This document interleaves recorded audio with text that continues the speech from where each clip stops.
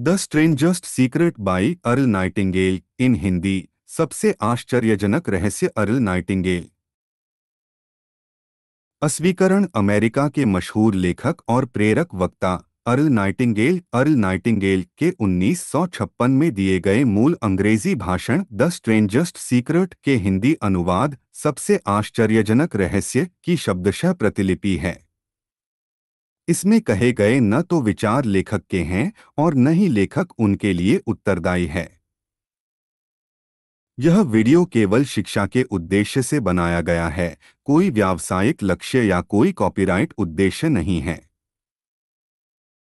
Audio book shop में आपका स्वागत है, कृपया मेरे चैनल ऑडियो बुक शॉप को सब्सक्राइब करें और कृपया कमेंट करें कि आप कौन सी किताब सुनना चाहते हैं। The strangest secret by Earl Nightingale in Hindi Earl Nightingale March 12 1921 March 25 उन्नीस सौ नवासी. अर्ल नाइटिंगेल का जन्म 12 मार्च 1921 को लॉन्ग बीच अमेरिका में हुआ था। वे एक मशहूर अमेरिकी रेडियो स्पीकर और लेखक थे। जो ज़्यादातर मानवीय चरित्र विकास, प्रेरणा और सार्थक अस्तित्व के विषयों से संबंधित लेखन और भाषण करते थे। 1956 तक अर्ल नाइटिंगेल एक सफल रेडियो उद्घोषक थे। उन्हें the voice of sky king के रूप में जाना जाता था। वे खुद के दैनिक रेडियो और टेलीविज़न शो भी चलाते थे। आगे चलकर उन्होंने एक छोटी सी जीवन बीमा कंपनी खरीदी और अपने बिक्री कर्मचारियों को अपने प्रेरक और उत्साहजनक संदेशों से इतना प्रेरित किया कि यह बीमा कंपनी एक सफल कंपनी साबित हुई। बाद में अर्ल ने एक एक भाषण लिखकर उसे रिकॉर्ड किया ताकि उनके बाहर रहने पर भी उनके कर्मचारी उत्साहित और प्रेरित बने रहें। यह भाषण था द स्ट्रेंजस्ट सीक्रेट। अर्ल का यह संदेश काफ़ी मशहूर हुआ और दुनिया भर में लाखों लोगों के जीवन को प्रभावित और परिवर्तित किया। आज 60 से अधिक वर्षों के बाद मेन और प्रभावशाली संदेशों में से एक बना हुआ है। यह हर उस व्यक्ति के जीवन को बदलने की क्षमता रखता है जो इसे सुनता और पढ़ता है। The strangest secret by Earl Nightingale सबसे आश्चर्यजनक रहस्य मैं आपको बताना चाहूँगा कि इस दुनिया का सबसे आश्चर्यजनक रहस्य क्या है।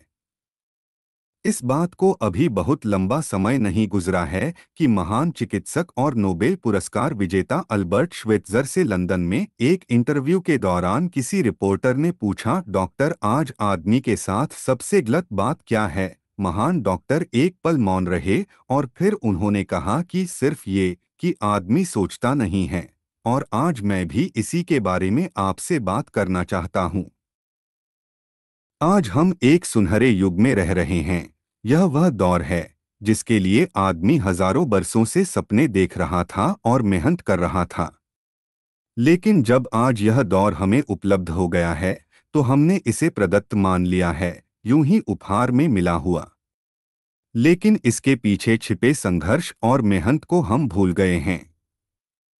लेकिन क्या आपको मालूम है कि दरअसल होता क्या है? चलिए हम ऐसे 100 लोगों को लेते हैं, जिन्होंने 25 वर्ष की उम्र में अपने कैरियर की शुरुआत की। क्या आपको अनुमान है कि पैंसठ की वर्ष उम्र तक पहुँचते पहुँचते इनके साथ क्या होगा?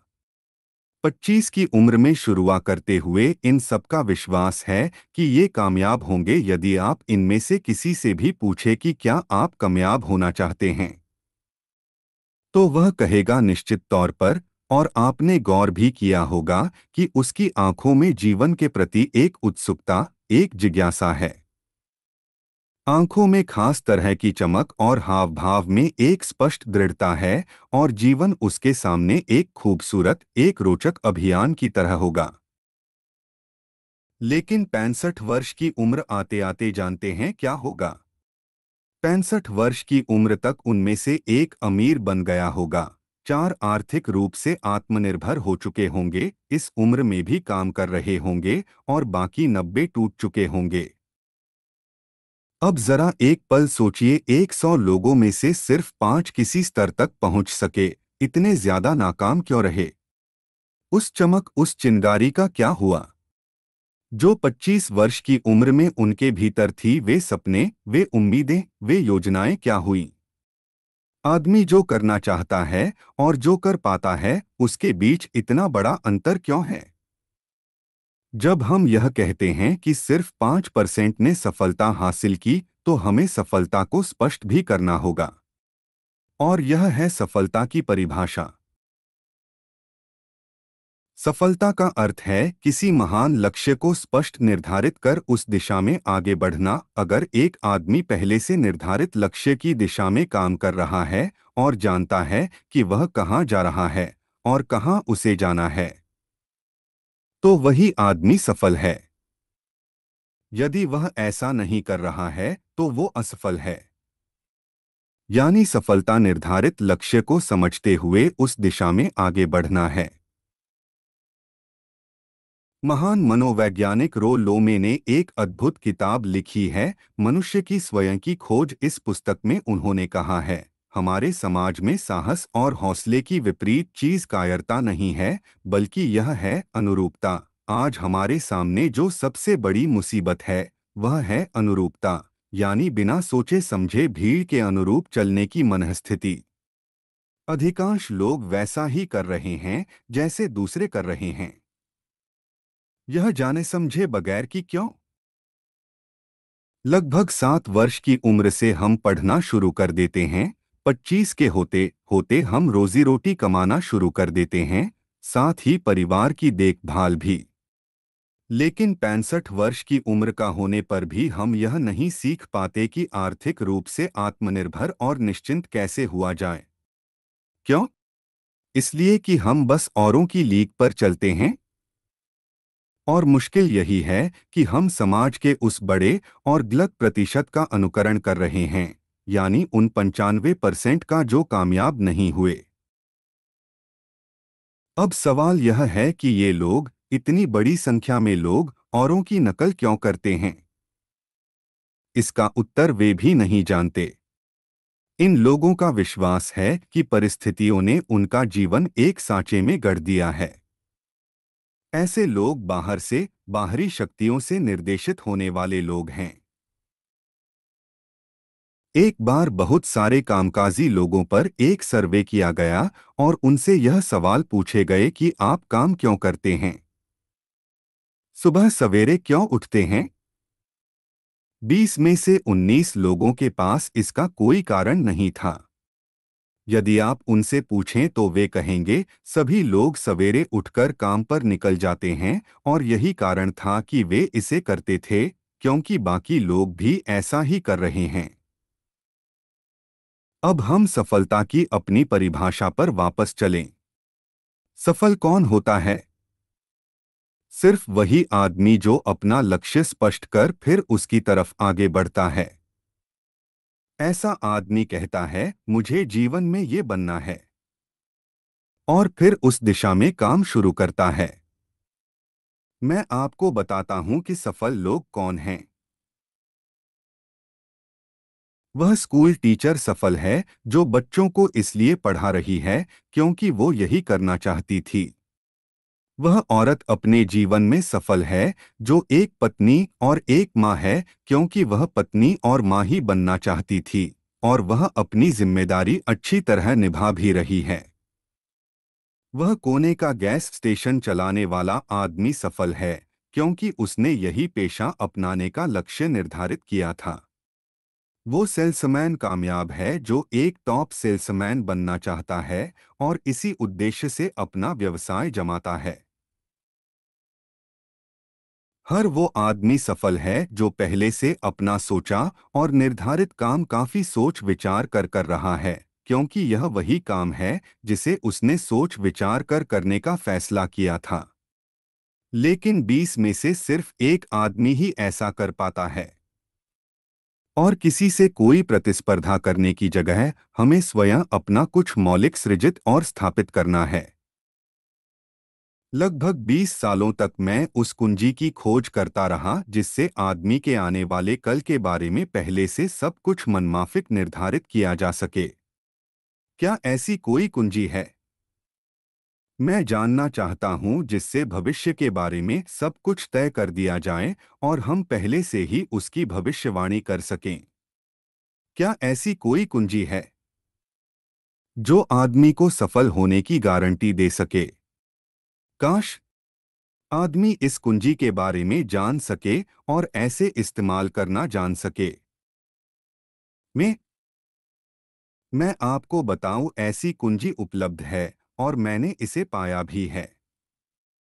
क्या आपको कभी इस बात पर हैरत हुई है कि दुनिया में इतने सारे लोग कड़ी मेहनत और ईमानदारी से काम करते हैं, लेकिन उन्हें जीवन कुछ खास हासिल नहीं हो पाता, जबकि कुछ लोगों को बिना मेहनत किए ही बहुत कुछ उपलब्ध हो जाता है? यानी उनके हाथों में कोई जादू है? जी हाँ।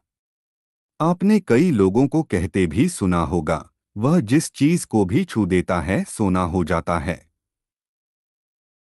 क्या आपने कभी गौर किया है, एक आदमी जो अपने जीवन में कामयाब हुआ, वह हमेशा सफलता की दिशा में ही प्रयत्नशील रहा, जबकि असफल व्यक्ति हमेशा असफलता की दिशा में ही काम करता रहा? ऐसा सिर्फ़ लक्ष्यों की वजह से ही हुआ। हम में से कुछ लोगों के सामने लक्ष्य होते हैं, और वे उसी दिशा में काम करते हैं। जबकि कुछ लोगों के सामने कोई लक्ष्य ही नहीं होता। लक्ष्य साथ रखने वाले व्यक्ति सफल होते हैं, क्योंकि उन्हें मालूम होता है कि किस दिशा में आगे बढ़ना है। एक ऐसे जहाज़ के बारे में सोचिए जो बंदरगाह से बस चलने ही वाला है, अपनी यात्रा के पूरे नक्शे और पूरी योजना के साथ। जहाज़ के कैप्टन और चालक दल के सदस्यों को ये अच्छी तरह मालूम है कि उसे कहाँ जाना है और कितना समय लगेगा। इस जहाज़ के सामने एक स्पष्ट लक्ष्य है। स्पष्ट लक्ष्य और स्पष्ट मैप रखने वाला जहाज़ दस हज़ार बार अभियान में से नौ हज़ार नौ सौ निन्यानवे बार अपने उसी लक्ष्य पर पहुंचेगा, जहाँ के लिए ये रवाना हुआ था। यानी शत प्रतिशत लक्ष्य पर। अब इसी तरह के एक दूसरे जहाज़ के बारे में सोचिए, फ़र्क सिर्फ़ इतना है कि इस पर कोई कैप्टन नहीं है और ना ही कोई चालक सदस्य। इस जहाज़ के सामने कोई लक्ष्य नहीं है, कोई उद्देश्य नहीं है, बस इंजन स्टार्ट करके इसे जाने दिया जाता है। मैं सोचता हूँ कि आप भी मुझसे सहमत होंगे कि बंदरगाह से निकलने के बाद जहाज़ या तो डूब जाएगा या तूफ़ान में घिर जाएगा या फिर किसी वीरान टापू पर बंद हो जाएगा। ये किसी स्थान पर पहुँच ही नहीं सकता क्योंकि इसके सामने ना तो कोई लक्ष्य है और ना ही उसके साथ कोई मार्गदर्शन। बिल्कुल यही बात मनुष्य पर भी लागू होती है। एक सेल्समैन का ही उदाहरण लीजिए आज दुनिया में कुशल सेल्समैन के व्यवसाय से बढ़कर कामयाबी की उम्मीद किसी और पेशे में नहीं है। अगर हमारे सामने लक्ष्य स्पष्ट हो और हम अपने काम में होशियार हों तो सेलिंग प्रोफेशन यानी बिक्री का व्यवसाय दुनिया का सबसे ज़्यादा आमदनी वाला पेशा है। आज हर कंपनी को होशियार से होशियार सेल्समैन की ज़रूरत है और वे उसे बढ़ा चढ़ाकर पारिश्रमिक देने को तैयार हैं। उनके लिए तरक्की की असीम संभावनाएँ हैं। लेकिन आपको ऐसे कुशल लोग कितने मिल पाते हैं? किसी ने एक बार कहा भी था कि आज मानव जाति का पूरा ध्यान मज़बूत लोगों को फ़ायदा उठाने से रोकने में नहीं, बल्कि कमज़ोर लोगों को नुकसान उठाने से रोकने में है। आज अर्थव्यवस्था की तुलना एक कौनवाय, काफिले से की जा सकती है। जिस तरह काफिला उसी गति से आगे बढ़ता है, जिससे उसकी सबसे धीमी गति वाली टुकड़ी भी साथ साथ चल सके, ठीक उसी प्रकार आज पूरी अर्थव्यवस्था अपनी सबसे कमज़ोर कड़ी की हिफाजत में धीमी पड़ गई है। इसलिए आज रोजी रोटी कमाना तो काफ़ी आसान हो गया है। आज आजीविका के लिए या परिवार चलाने के लिए किसी खास बुद्धि या प्रतिभा की ज़रूरत भी नहीं पड़ती। आमतौर पर आदमी रोजी रोटी की इसी सुरक्षा की तलाश में रहता और यह तथाकथित सुरक्षा हमें उपलब्ध भी है। लेकिन यह फैसला हमें करना है कि सीमा रेखा से कितनी ऊंचाई का लक्ष्य हम अपने लिए निर्धारित करना चाहते हैं। चलिए अब हम दुनिया के सबसे आश्चर्यजनक रहस्य पर, यानी जो कहानी मैं आपको सुनाना चाहता हूँ, उस पर वापस चलें। जीवन में स्पष्ट लक्ष्य रखने वाले लोग क्यों सफल होते हैं और लक्ष्यविहीन लोग क्यों असफल हो जाते हैं? चलिए अब मैं आपको कुछ ऐसी बातें बताता हूँ जिन्हें आप अगर सच में समझ लेते हैं तो आपके जीवन में बहुत जल्दी बदलाव आएगा। जो कुछ मैं आपसे कहने जा रहा हूँ, अगर आप उसे पूरी तरह समझ लें तो आपका जीवन ऐसा नहीं रहेगा जो आज है। आपको अचानक वह सौभाग्य मिल जाएगा जो अरसे से आपको लुभाता रहा है। आप जो कुछ भी चाहते हैं, वह सब आपके समक्ष साकार हो जाएगा और आप उन सभी चिंताओं, समस्याओं और परिस्थितियों से मुक्त हो जाएँगे जो अरसे से आपको घेरे हुए थीं। शंकाएँ और भय अतीत की चीज़ें हो जाएँगी। सफलता और असफलता की कुंजी क्या है, मैं आपको बतलाता हूँ। हम जैसा सोचते हैं, वैसा ही बनते हैं। मुझे एक बार फिर दोहराने दीजिए, हम जैसा सोचते हैं, वैसा ही बनते हैं। पूरे इतिहास में जो भी महान, बुद्धिमान लोग हुए हैं, चाहे वे शिक्षक हों, दार्शनिक हों या पैगंबर हों, उनके विचारों में कई मुद्दों को लेकर मतभेद रहा है। लेकिन एकमात्र इसी मुद्दे पर वे पूरी तरह सहमत रहे हैं। महान रोम सम्राट मार्कस एरियलिस ने कहा था, मनुष्य का जीवन वैसा ही बनता है, जैसा उसके विचार उसे बनाते हैं। डिजराइली ने इस बात को इस प्रकार कहा है कि यदि मनुष्य चाहे और प्रतीक्षा करे तो हर चीज़ उसे हासिल हो सकती है। बहुत लंबे और गहन चिंतन मनन के बाद मैं इस नतीजे पर पहुँचा हूँ। एक निश्चित लक्ष्य वाला मनुष्य हर हाल में इसे पूरा करता है, और अगर दृढ़ इच्छा शक्ति हो तो इसकी राह में कोई अड़चन नहीं टिक सकती। राल्फ वाल्डो एमरसन का कहना है कि एक आदमी वैसा ही बनता है जैसा वह पूरे दिन भर सोचता है। विलियम जेम्स ने कहा था मेरी पीढ़ी की सबसे बड़ी खोज यही है कि मनुष्य अपनी सोच और अपने विचारों में परिवर्तन लाकर अपने जीवन को भी बदल सकता है। और उन्होंने यह भी कहा कि ज़रूरत सिर्फ़ इस बात की है कि हम अपने जीवन में वांछित चीज़ों को वास्तव में घटित हुआ मान लें। धीरे धीरे इस सोच का जीवन से ऐसा संपर्क स्थापित होता चला जाएगा कि वांछित चीज़ें वास्तव में यथार्थ बन दरअसल हमारी सोच हमारी आदतों और भावनाओं से इस कद्र गुथ जाती हैं कि हमारा विश्वास साकार हो जाता है। विलियम जेम्स ने यह भी कहा था कि यदि आप किसी परिणाम विशेष के बारे में काफ़ी ज़्यादा सोचें तो आप निश्चित तौर पर उसे हासिल भी कर लेंगे। अगर आप अमीर बनने की इच्छा रखते हैं तो आप निश्चित तौर पर अमीर बन जाएँगे। यदि आप विद्वान बनना चाहते हैं तो आप विद्वान बनेंगे। इसी प्रकार यदि आप भला बनना चाहते हैं तो निश्चित तौर पर भले बन जाएँगे। आपको सिर्फ़ ये करना है कि वस्तु विशेष या लक्ष्य के लिए वास्तविक इच्छा शक्ति विकसित करें और उस दौरान एकमात्र वही लक्ष्य आपके सामने हो। ऐसा ना हो कि एक ही समय सैकड़ों अलग अलग चीज़ों पर आपका ध्यान भटके। आपको बाइबिल का वह कथन याद होगा कि जो विश्वास करता है, उसके लिए सब कुछ संभव है। डॉक्टर नॉर्मन विंसेंट पीले ने कहा है कि पूरी सृष्टि के महानतम नियमों में से ये एक है कि अगर आपकी सोच नकारात्मक हो तो नकारात्मक परिणाम ही आपके सामने आएँगे और यदि आप सकारात्मक सोचें तो जो भी आप करेंगे उसका नतीजा भी सकारात्मक होगा। यह एक साधारण सी वास्तविकता है जो समृद्धि और सफलता इस आश्चर्यजनक नियम का आधार है। केवल चार शब्दों में कहा जाए तो विश्वास करो। सफलता पाओ। ऑडियो बुक शॉप में आपका स्वागत है। कृपया मेरे चैनल ऑडियो बुक शॉप को सब्सक्राइब करें और कृपया कमेंट करें कि आप कौन सी किताब सुनना चाहते हैं। विलियम शेक्सपियर ने इसे इस तरह कहा है कि हमारी शंकाएँ इतनी विश्वासघातिनी हैं कि वे हमें कोशिश करने से भी भयभीत कर देती हैं और हम उन सभी मोर्चों पर हार जाते हैं जहाँ हम जीत सकते थे। जॉर्ज बर्नार्ड शॉ का कहना है कि लोग अपनी हालत के लिए हमेशा अपनी परिस्थितियों को दोष देते हैं। लेकिन मैं परिस्थितियों में विश्वास नहीं करता। इस दुनिया में कामयाबी हासिल करने वाले लोग वे लोग हैं जिन्होंने काम की शुरुआत की और अपनी मनचाही परिस्थितियाँ खुद बनाई। ये वास्तविकता कितनी सुखद है।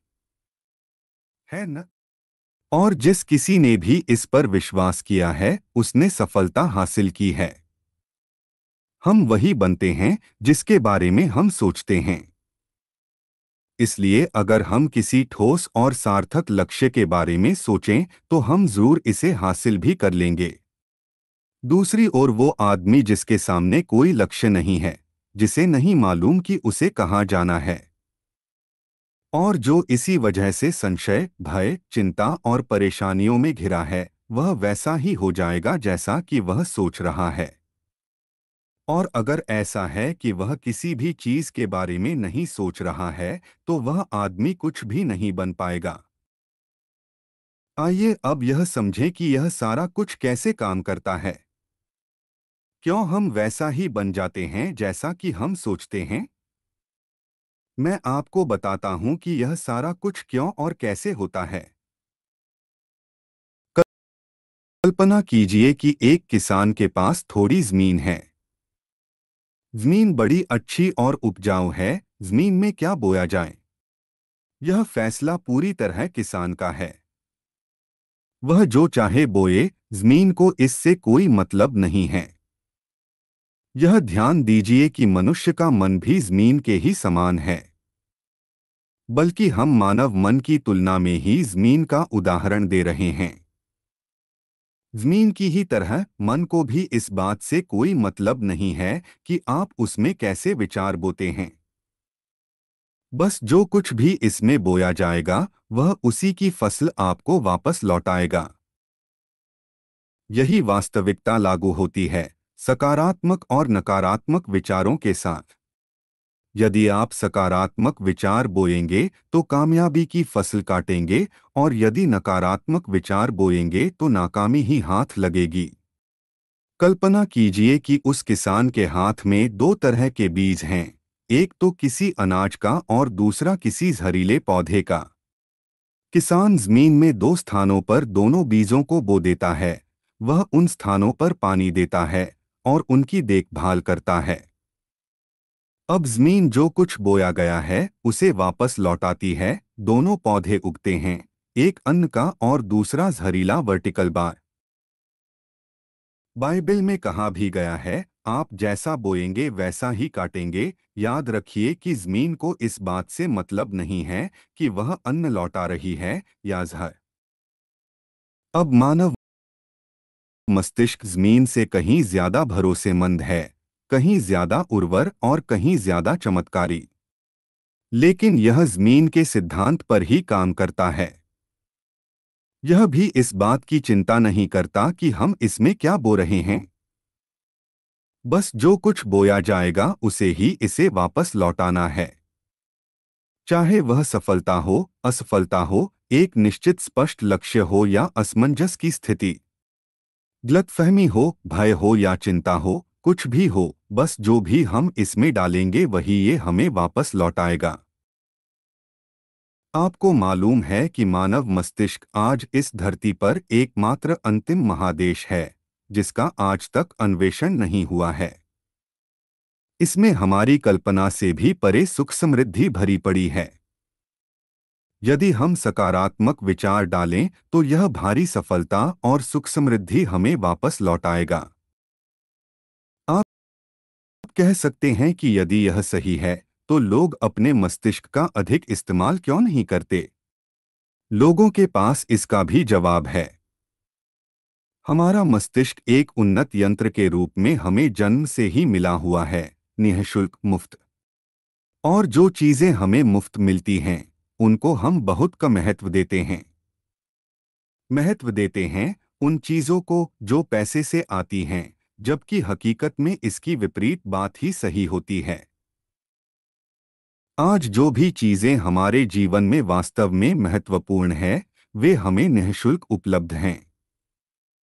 हमारा मस्तिष्क, हमारी आत्मा, हमारा शरीर, हमारी आशाएँ, हमारे सपने, हमारी आकांक्षाएँ, हमारी बुद्धि, परिवार, बच्चों और दोस्तों का प्रेम, यहाँ तक कि प्रकृति का उपहार, हवा, धूप और पानी भी।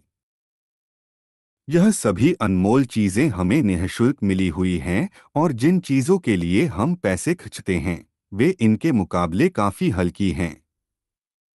स्तरहीन और उन्हें किसी भी चीज़ से बदला जा सकता है, लेकिन प्रकृति की ओर से निःशुल्क मिली चीज़ें कभी बदली नहीं जा सकती। और दूसरी बात यह कि मानव मन की शक्तियों का भरपूर उपयोग नहीं हुआ है। मन इतना शक्तिशाली है कि इसे जो भी काम सौंपा जाए, कर सकता है। लेकिन आमतौर पर हम बड़े और महत्वपूर्ण कामों के बदले छोटे मोटे कामों के लिए ही इसका इस्तेमाल करते हैं। कई विश्वविद्यालयों ने यह साबित कर दिया है कि हम में से अधिकांश लोग अपनी क्षमता का 10 परसेंट ही इस्तेमाल करते हैं। हमारी शेष क्षमता यूँ ही अनछुई रह जाती है। अब आप फैसला कीजिए कि आपको क्या करना है। अपना लक्ष्य अपने मस्तिष्क रूपी ज़मीन में बो दीजिए। यह आपके पूरे जीवन का सबसे महत्वपूर्ण फैसला है। आप एक बेहद कामयाब सेल्समैन बनना चाहते हैं। कंपनी के कुशल और सक्रिय कर्मचारी के रूप में जगह जगह जाना चाहते हैं। आपको सिर्फ़ यह करना है कि इस लक्ष्य रूपी बीज का रोपण अपने दिलो दिमाग में कर लें। जतन से एकाग्रचित्त होकर इसकी देखभाल करें, लक्ष्य की दिशा में आगे बढ़े, कार्यशील रहें। और एक दिन आपका सपना हकीकत में बदल जाएगा, कोई सवाल ही नहीं है कि ऐसा ना हो। आप समझ लीजिए कि यह प्रकृति के अन्य नियमों की तरह एक नियम है, जैसा सर आइजेक न्यूटन का गुरुत्वाकर्षण का नियम है कि यदि आप किसी इमारत की छत से छलांग लगा दें तो आप नीचे ही आएँगे, ऊपर नहीं जा सकते। प्रकृति के सभी नियम हमेशा सही होते हैं, हमेशा काम करते हैं। आप भी बिल्कुल सकारात्मक दिशा में अपने लक्ष्य के बारे में सोचिए, हमेशा जागी आँखों से सपना देखिए कि आपने अपना लक्ष्य हासिल कर दिया है। उन कामों के बारे में सोचिए और खुद को उन्हें करता हुआ भी देखिए, जो लक्ष्य तक पहुँचने के बाद आपको करने हैं। आज हमारे समय के दौर को यदि औषधियों का युग या अल्सर और नर्वस ब्रेकडाउन का युग कहा जाए तो गलत नहीं होगा।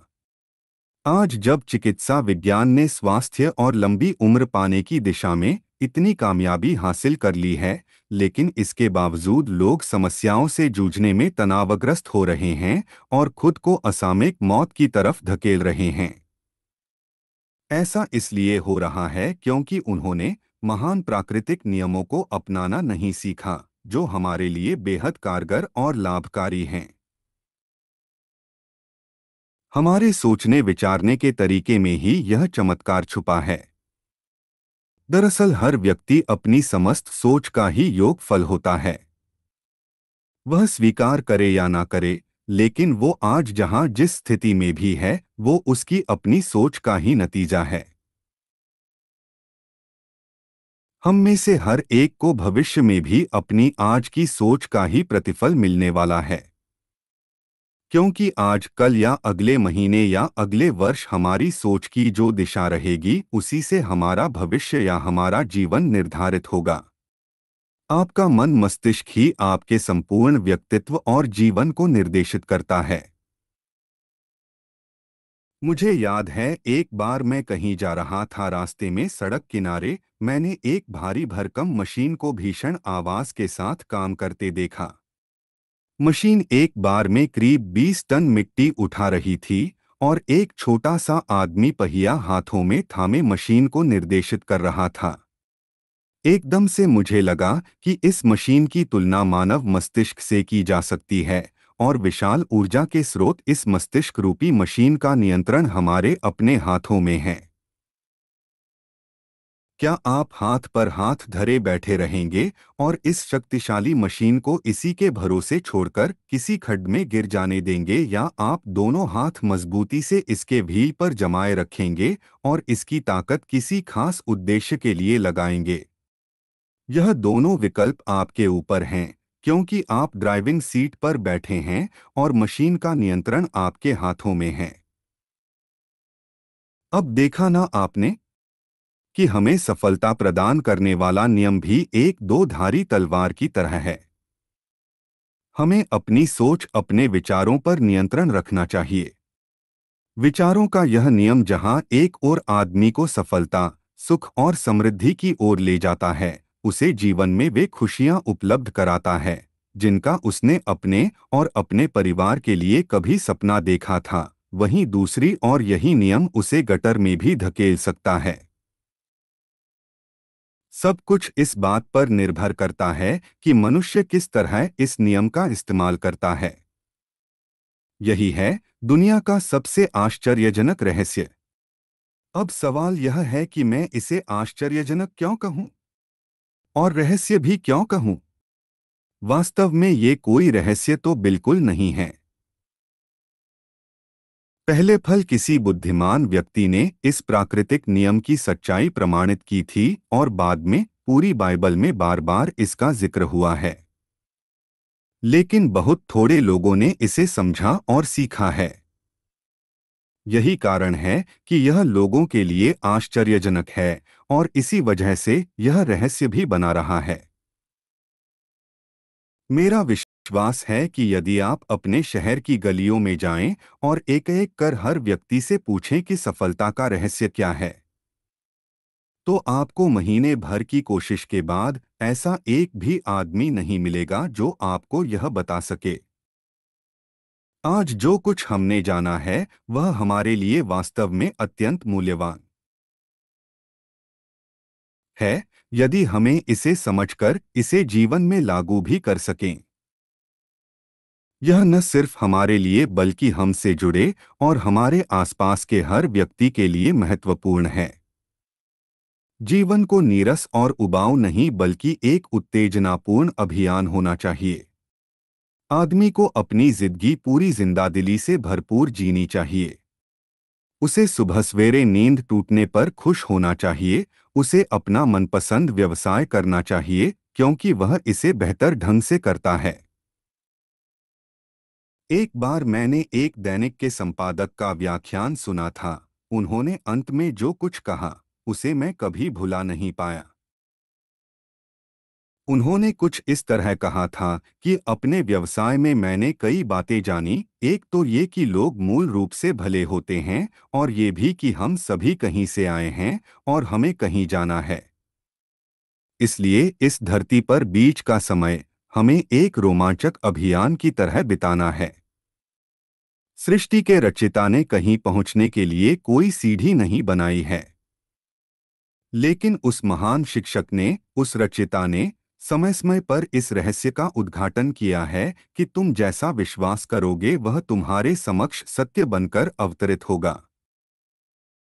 मैं आपको परीक्षा का एक मौका देना चाहता हूँ। यह परीक्षा तीस दिनों तक चलेगी। यदि आपने अच्छी परीक्षा दी तो यह आपके जीवन को बेहतर से बेहतर रूप में पूरी तरह बदल देगी। सत्रहवीं शताब्दी में वापस लौटे जब महान वैज्ञानिक सर आइजेक न्यूटन ने हमें भौतिकी के कुछ नियम बतलाए थे, जो मनुष्य पर भी उतनी ही सच्चाई से लागू होते हैं, जितने की सृष्टि की अन्य वस्तुओं पर। इन नियमों में से एक है कि प्रत्येक क्रिया की बिल्कुल समान और विपरीत प्रतिक्रिया होती है। यदि हम अपने आप पर इसे लागू करें तो इसका मतलब है कि हम मूल्य चुकाए बिना कुछ भी हासिल नहीं कर सकते। तीस दिनों के आपके प्रयोग का नतीजा बिल्कुल उसी अनुपात में होगा, जिस अनुपात में आपने प्रयास किया होगा। एक डॉक्टर बनने के लिए आपको कई वर्षों तक कठिन परिश्रम और अध्ययन करने का मूल्य चुकाना होगा, उसी तरह औरों को समझाने या सहमत कराने में या बिक्री के व्यवसाय में भी हमारी सफलता इस बात पर निर्भर करेगी कि चीज़ों को बेच सकने की या विचारों को दूसरों तक पहुँचाने की या स्वीकृत कराने की भी हमारी क्षमता कितनी है। लेकिन औरों को बेहतर जीवन पाने का तरीका समझाने में हमारी सफलता इस बात पर निर्भर करती है कि हम अपने प्रयास में कितना मूल्य चुकाते हैं और हमें यह मूल्य चुकाने को तैयार भी रहना चाहिए। अब सवाल है कि यह मूल्य है क्या? इसमें कई बातें हैं। पहली तो यह कि हमें बौद्धिक रूप से और भावनात्मक रूप से यह समझ लेना चाहिए कि हम जैसा सोचते हैं, बिल्कुल वैसा ही बनते भी हैं। इसलिए अपने जीवन को नियंत्रित करने के लिए हमें अपने विचारों को नियंत्रित करना होगा। यानी हमें अच्छी तरह समझ लेना होगा कि जैसा हम बोएँगे, वैसा ही काटेंगे। दूसरी बात हमें अपने मन से सभी अड़चनों और बेड़ियों को काट फेंकना होगा और यह सोचकर काम को अधिकतम आगे बढ़ाना होगा कि यही काम हमारे लिए दैवीय रूप से निर्धारित है। यानी यह समझना होगा कि सभी सीमा रेखाएँ हमारी खुद की बनाई हुई हैं और हमारे सामने कल्पना से भी बढ़कर अवसर मौजूद हैं। अर्थात हमें तमाम संकीर्णताओं से और पूर्वाग्रहों से ऊपर उठना होगा।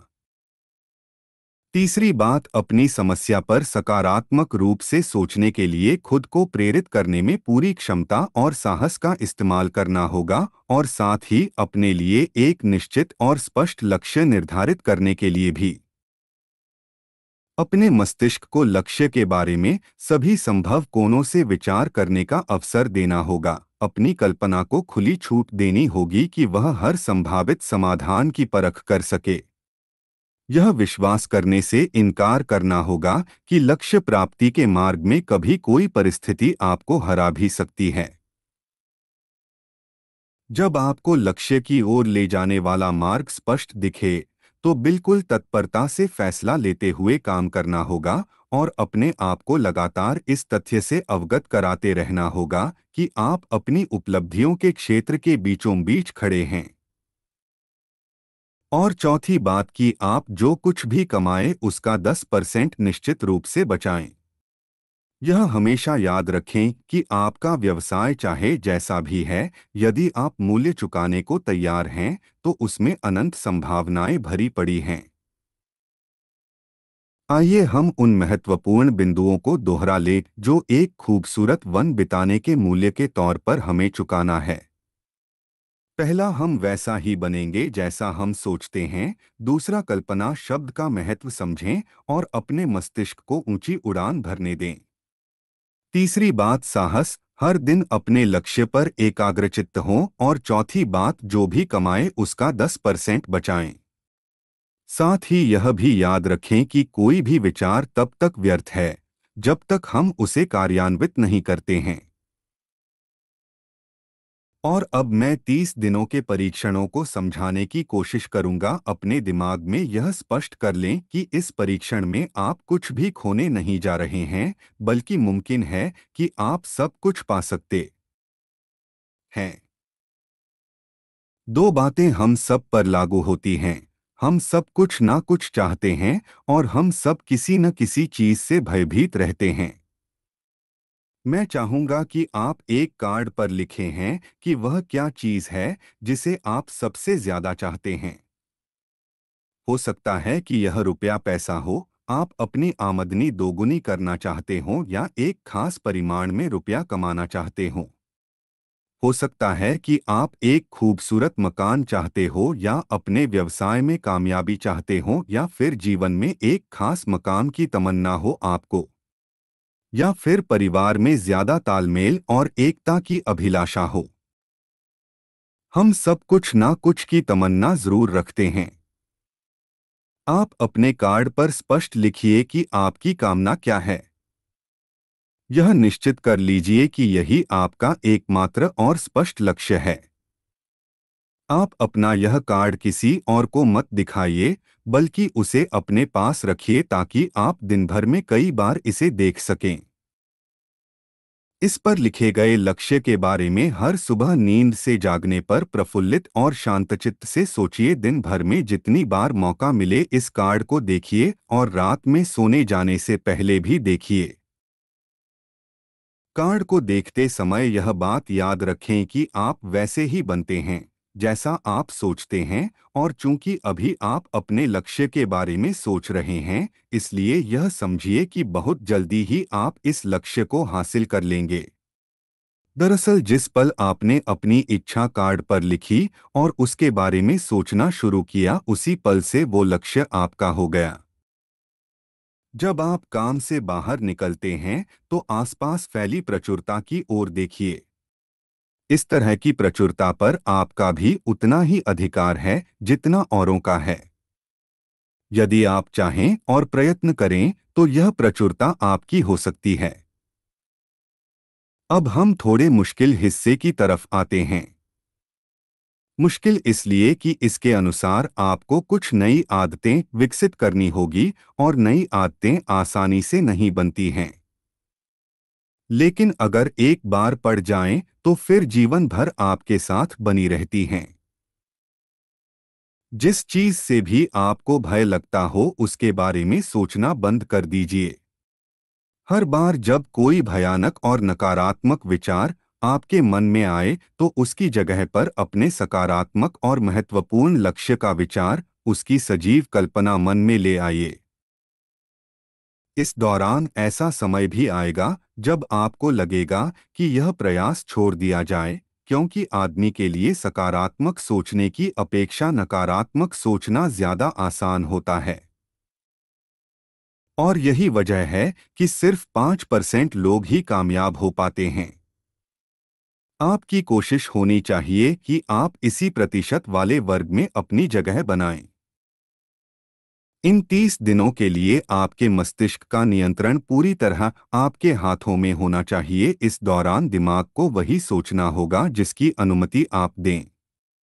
तीस दिनों की इस परीक्षण अवधि के दौरान हर दिन आप उससे भी ज़्यादा काम करें जितना आपको करना है। इसके अलावा एक उत्साही सकारात्मक रुख बनाए रखने के लिए पहले से भी ज़्यादा कोशिश करें। यह सारा कुछ ये ध्यान रखते हुए करें कि जीवन में आपको उसी अनुपात में कुछ मिलेगा जिस अनुपात में आप लगाएँगे। जिस क्षण आप किसी लक्ष्य की दिशा में काम करने का फैसला करते हैं, उसी क्षण आप एक सफल व्यक्ति बन जाते हैं। क्योंकि आप उसी क्षण ऐसे सफल लोगों की श्रेणी में आ जाते हैं, जिन्हें मालूम है कि वे किधर जा रहे हैं। इसका मतलब है कि लक्ष्य निर्धारित करने के साथ ही आप प्रत्येक एक सौ में से शीर्ष के पाँच लोगों में आ गए। लक्ष्य किस तरह हासिल किया जाए? इस चिंता में अपने आप को बहुत ज़्यादा मत उलझाइए। इसे पूरी तरह उस शक्ति पर छोड़ दीजिए जो आपसे ज़्यादा समर्थ है। आपको सिर्फ़ यह मालूम करना है कि आप किधर जा रहे हैं, किस दिशा में जा रहे हैं। बाकी के सारे प्रश्न जैसे जैसे सामने आएँगे, उनका जवाब भी खुद ब खुद मिलता जाएगा। आप धर्मोपदेश के यह शब्द याद रखिए और उन्हें परीक्षण के दौरान हर दिन अपने सामने रखिए, प्रश्न पूछो और उसका जवाब तुम्हें प्राप्त होगा। खोजो और तुम उसे पालोगे, दस्तक दो तुम्हारे लिए द्वार खुलेगा। क्योंकि हर वह व्यक्ति जो जिज्ञासा रखता है, उत्तर पाता है, जो ढूंढता है, उसे प्राप्त होता है, और जो दस्तक देता है, उसके लिए द्वार खुलता है।